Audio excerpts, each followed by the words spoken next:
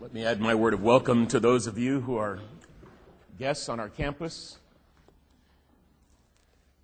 We're delighted that you're here, and we'll look forward to spending more time with you this afternoon.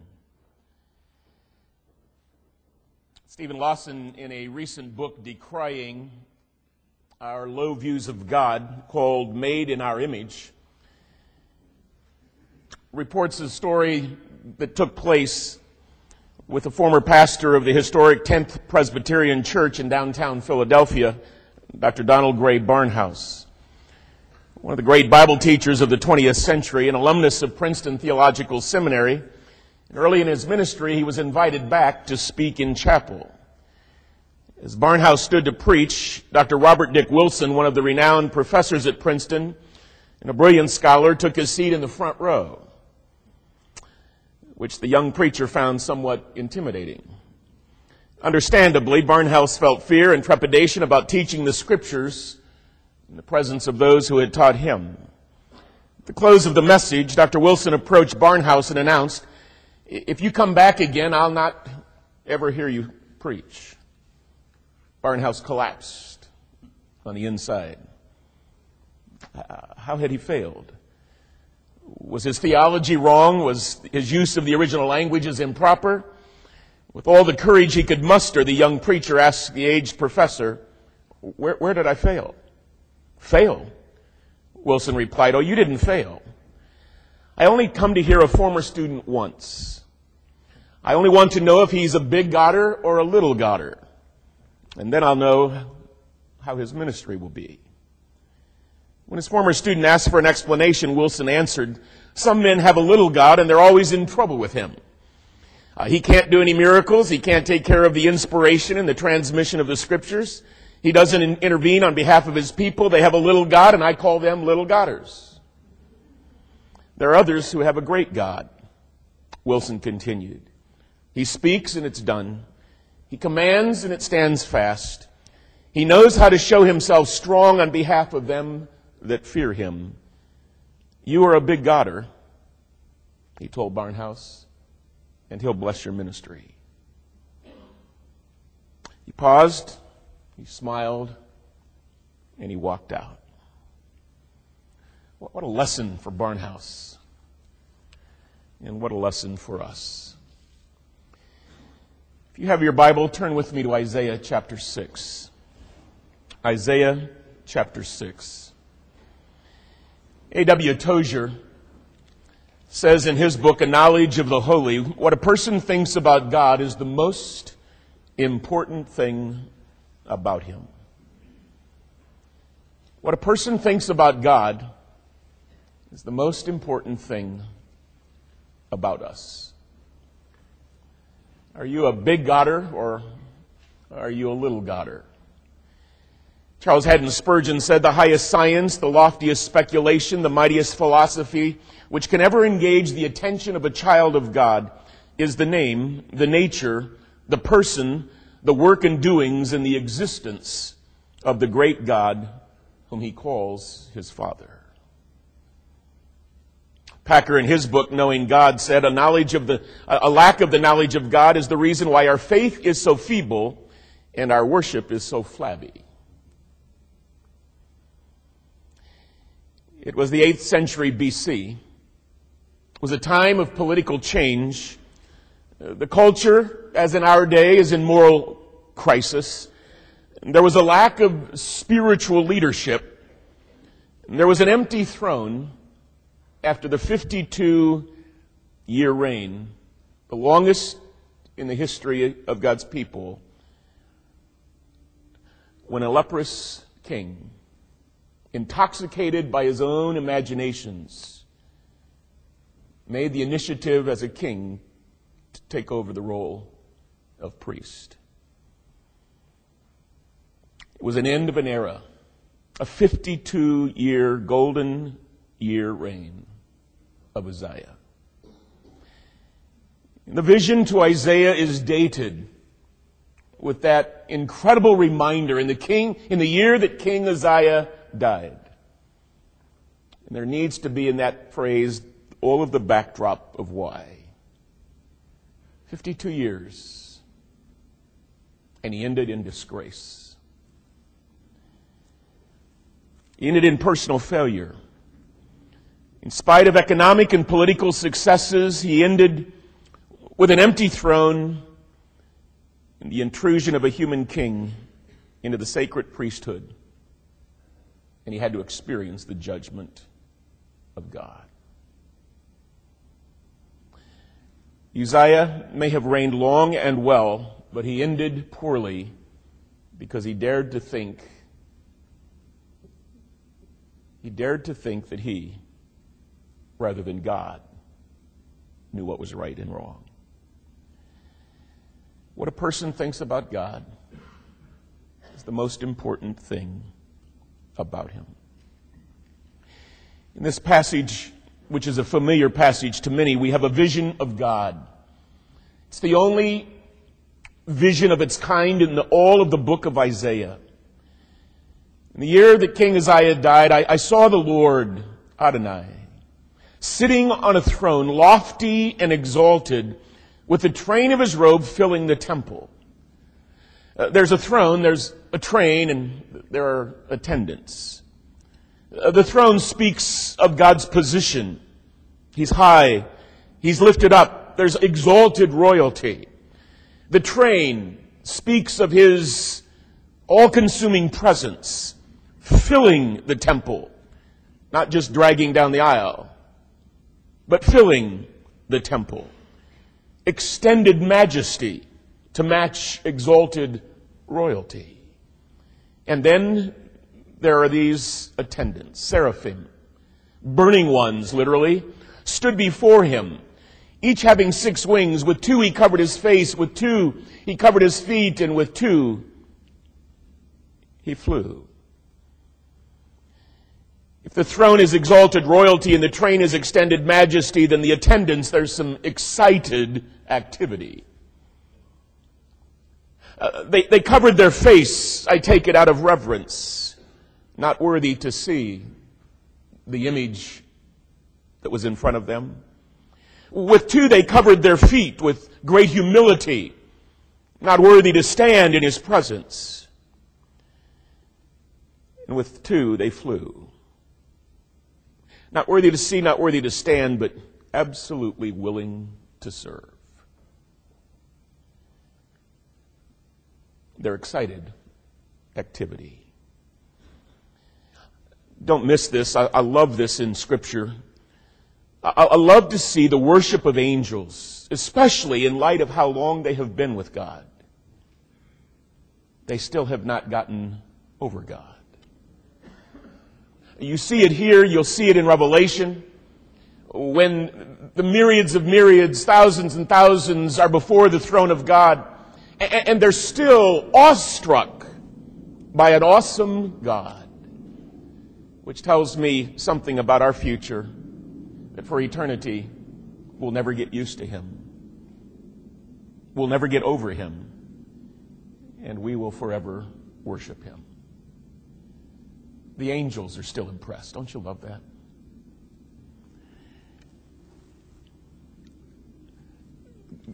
A vision of God is viewed perspectively. God is high, but the vision of God is also viewed personally.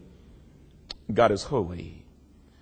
His highness speaks of his sovereignty. His holiness speaks of his sanctity. Look at verse 3. And one called out to the other and said, Holy, holy, holy is the Lord of hosts. The whole earth is filled or full of his glory.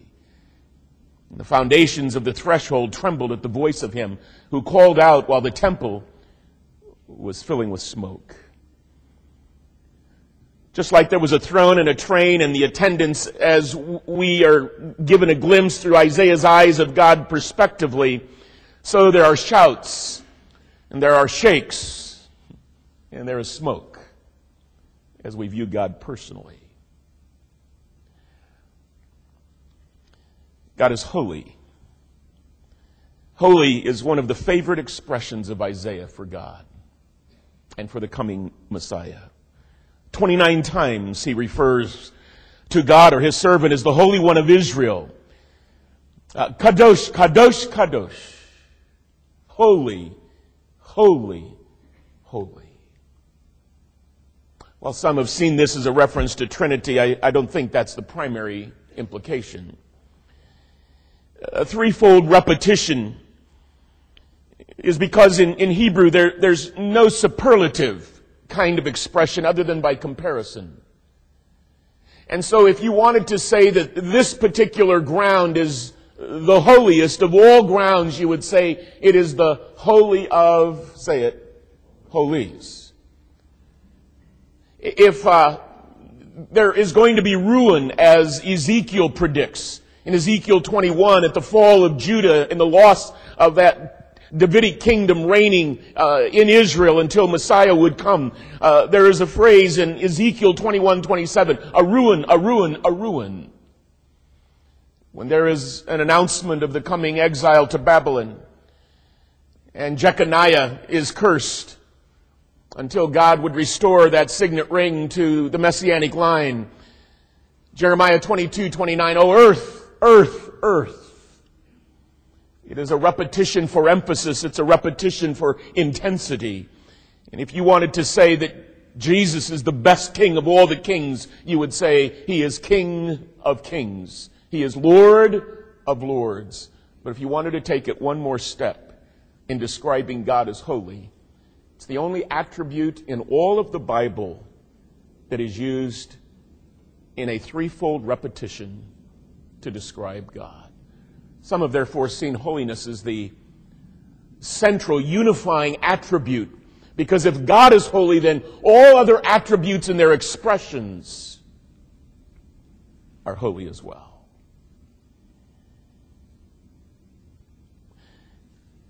The shouts. Stephen Charnock, who wrote a book back in the 1600s called The Existence and the Attributes of God that was published after his death.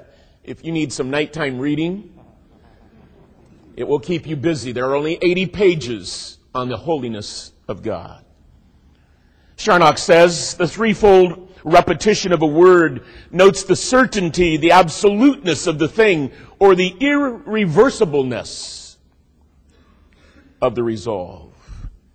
Holy, holy, holy. Its root idea, holy, doesn't mean just moral purity, though it has a resultant implication. Be holy, for I, the Lord your God, am holy. But when we talk about the holiness of God, we're talking about the difference of God. He's unique. He's separate. He's just special. Don't be a low Godder. Let's become high Godders, big Godders. There are shouts and then there are shakes. The, the, the, word that's used here in the Hebrew is for the elbow joints, probably the receptive bases into which the steps and the, the door plugs were fitted in this temple vision. And, and, and like a, a, train that comes by or a, a, a tornado that blows through or, or, an earthquake that's not far away, the, the whole thing is shaking. The whole earth is full of His glory. The foundations of the thresholds trembled just at the voice of him who called out. And the temple was filled with smoke. The physical representation, the visible representation of God's presence among his people, often present, was smoke when theophany, a pre appearance or an earthly appearance of God took place.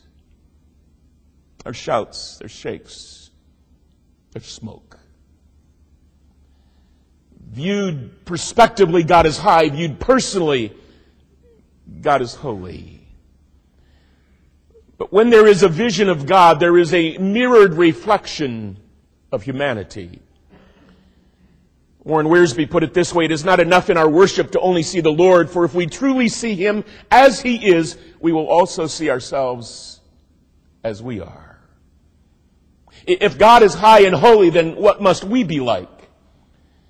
Only when you and I see God will we really understand how we are. Only God can reveal what He is like, and only God can reveal really what I am like. I don't even know what I'm like. I don't know why I think what I think at times and say what I say at times. I don't know why my emotions, my thoughts my impulses come like they do. But God does. And only God can reveal God. And only God can really reveal me. If God is high and holy, then what must we be like? Well, you know the answer. Woe is me, for I am ruined. I don't know how long I had known about this passage before I realized that this is the seventh woe in a series of woes. And the other six are found in chapter 5 and may explain why, why God the Holy Spirit guided the human author Isaiah to write of his commission in chapter 6 and not chapter 1 like Jeremiah and Ezekiel. If you want to just flip back, I'm just going to mention these. In chapter 5, verse 8, there is a woe, which is a warning of judgment to come that is announced to those who trust in their real estate for their security. The amount that one owns. Woe to that person if that's where their trust is. In 511, those who try to cope with the realities of life through drinking, drowning their sorrows, or celebrating their successes. Woe to those. Uh, 518, to those who make it a habit to sin through dishonesty and, and whatever it takes to get ahead. 520, to those who think it is their prerogative to establish their own morality, those who call right wrong and wrong right, who make up their own rules. In 521, those who view themselves as wise in their pride. Woe to them, he says. And in 522, those who gain their self-esteem through foolish, competitive booze parties. Can you believe that? Who would ever do that? Who have competition in how much they can down, and then as a result, lose the sense of justice and pervert it. Whoa, whoa, whoa, whoa, whoa, whoa. And in light of all of that, when Isaiah sees God, he doesn't go, wow. He says, woe is me. Whether he has said something in chapters 1 through 5, something that may not be quite right, I, I, think he just suddenly realizes how holy and how high God is. What am I even doing here? Being the recipient of what I see and being the hearer of what has been said. Just as God was viewed perspectively and personally, Isaiah views himself perspectively and personally. His first statement is, I am undone. I'm ruined.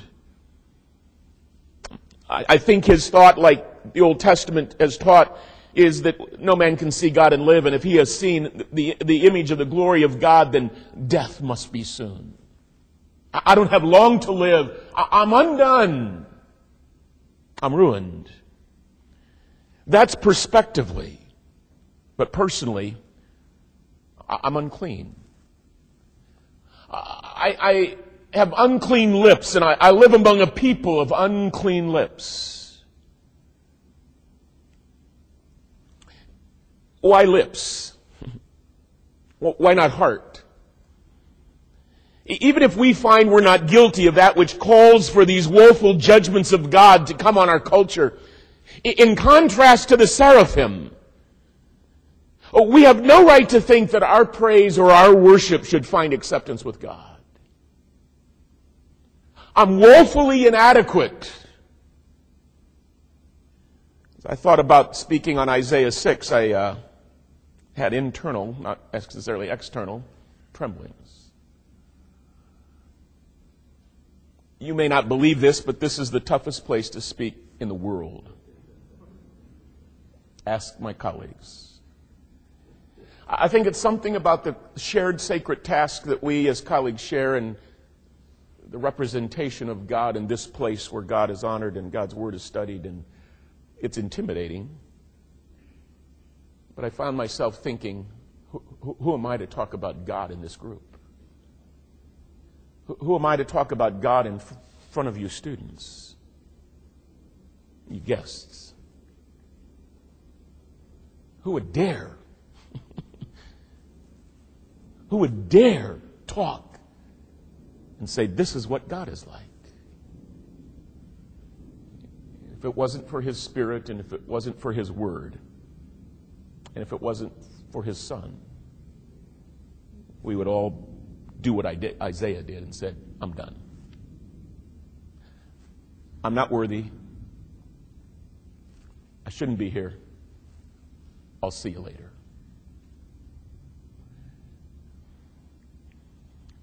Individually, we don't qualify, but nationally, Isaiah said we don't qualify.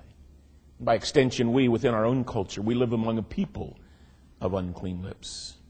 I was uh, reading a plane on the way back from speaking at Cedarville College last week and picked up a USA Today in the airport and sat down and started reading through it. And there was a little tiny article that says, Almighty, in quotes, too powerful for Egyptians. This was our shame. Jim Carrey's Bruce Almighty is a little too much for Egypt's taste.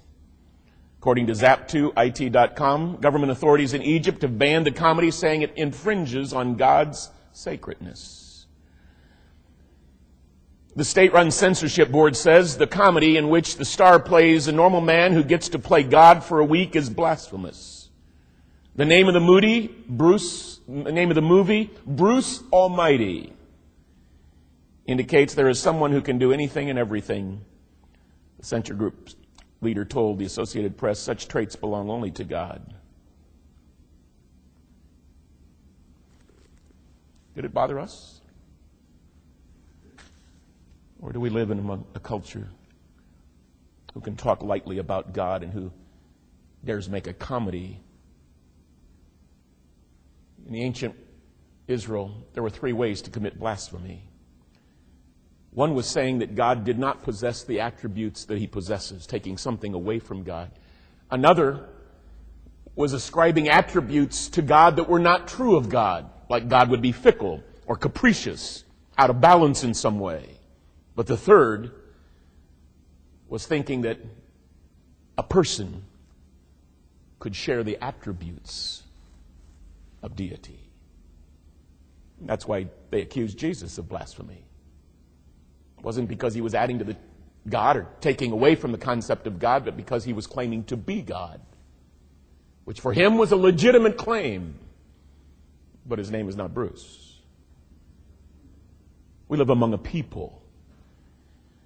Our hypocrisy, our hedonism, our homosexuality, rampant in the corporate world, the white collar crime, education, entertainment, social institutions, the prejudice, the racism. We live among a people who are disqualified because of God's holiness and His greatness. Well, what do we do?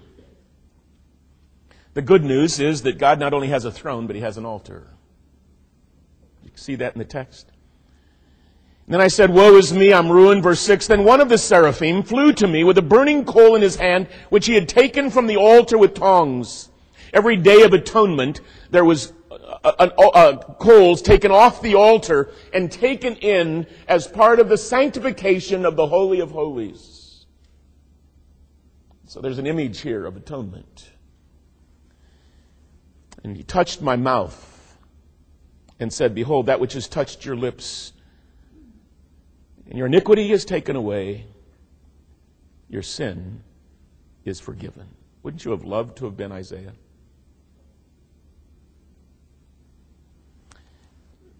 But listen, back then it was an angel as the agent of this atoning work of God for the moment. In the New Testament, it's Jesus, God's Son, as the personal agent of God, as God's Son Himself. There it was an altar. Later, it's a cross. There it was the atonement for Isaiah, for sins being forgiven and cleansing uh, proclaimed. Now, guilt is removed, righteousness is imparted, availability for service now becomes acceptability for worship and service because of what Christ did, you and I. can be available. I love that that part which is cleansed now becomes that part which is available for service in the passage. Jonathan Edwards said, Grace is but glory begun, and glory is but grace perfected. Only when we see the greatness of God will we see the greatness of our sin. And only when we see the greatness of our sin will we begin to comprehend the glory of His grace. And only when we see the glory of His grace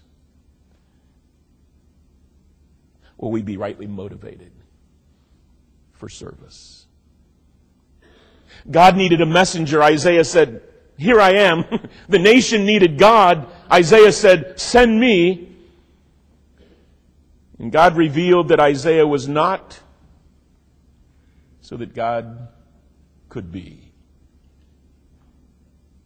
all that God wanted to be in his life. William Temple put it this way to worship is to quicken the conscience by the holiness of God, to feed the mind with the truth of God, to purge the imagination by the beauty of God, to open the heart to the love of God, to devote the will to the purpose of God. God delights in using cleansed sinners to minister God's cleansing touch to other sinners. How would you like to be called to this? Look at verse 9. And he said, Go and tell this people, keep on listening, but do not perceive. Keep on looking, but do not understand. Render the hearts of this people insensitive, their ears dull, their eyes dim, lest they see with their eyes, hear with their ears, understand with their hearts, and return and be healed. Then I said, Lord, how long do I have to serve like this? And he answered, Until the cities are devastated and without inhabitant, houses are without people, the land is utterly desolate, and the Lord has removed men far away, and the forsaken places are many in the midst of the land. Yet, yet there will be a tenth portion in it. It will again be subject to burning, like the terebinth or the oak, whose stump remains when it is felled. The holy seed is its stump. Not everyone will respond to your ministry. But God basically said to Isaiah, don't let that discourage you. Judgment will one day come. Stay faithful until it does. There will always be a remnant. God will always have his people. And that realization for us makes it worthwhile. Warren Wiersbe says that Isaiah 6 is the locus classicus for the study of worship. Isaiah saw something. In light of John 12, 36 to 43, it was Christ in all his glory. The New Testament says Isaiah saw Christ. He heard something, the heavenly praises. He experienced something, the cleansing power of God. And he did something, he volunteered for what was told him as difficult service. A vision of God, a vision of ourselves, a vision for ministry to which God calls us. Father, for our lives, we desire to be those who think you're high and those who think you're holy. And may the legacy that we leave to the next generation come from a people, your church, who has a great and grand view of you. With our mouths, we want to praise, and with our hearts, we want to obey. And that we would like to offer you. In your Son's name, who makes it all possible. Amen. Lord bless you. Have a great day. You're dismissed.